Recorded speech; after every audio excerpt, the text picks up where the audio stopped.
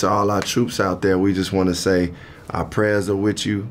We thank you for all your service.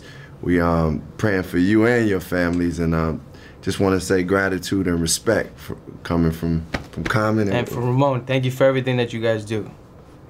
And ladies. yes.